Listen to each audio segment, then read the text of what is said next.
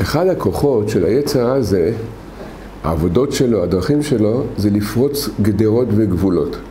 מכיוון שברגע שהוא גורם לנו לפרוץ גדרות וגבולות, אז נפרצו הגדרות, זה עד, עד אין סוף זה הולך, כביכול עד אין סוף.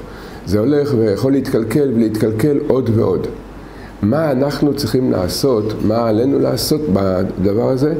להילחם כנגד הפריצת גדרות, אנחנו צריכים להקים גדרות. אנחנו צריכים לבנות גדרות. כיצד אנחנו מקימים גדרות? גדרות זה כאשר אנחנו מגבילים את עצמנו. פירוש הדבר שאדם נותן לעצמו משימות. הוא אומר, תאווה כזאת, בחינה כזאת, אני עכשיו מוותר עליה. ולוותר עליה זה לא, לאו דווקא אפילו לוותר לגמרי. למשל, אדם יושב לאכול ויש בדרך כלל בארוחה ממוצעת ארבע שניצלים על הצלחת, עוד בערך 300-400 גרם תפוחי אדמה וכן הלאה.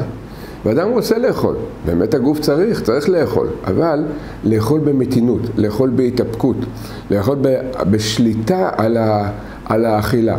ואחת העצות זה שאתה רוצה לאכול, תחכה 30 שניות. לאחר מכן תיקח נגיסה אחת, תחכה עוד, עוד 15 שניות.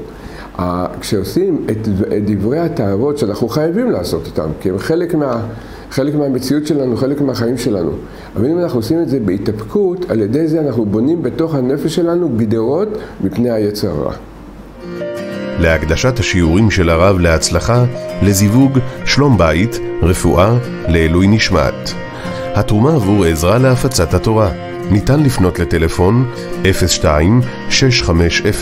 02-650-2929. תודה רבה ותזכו למצוות.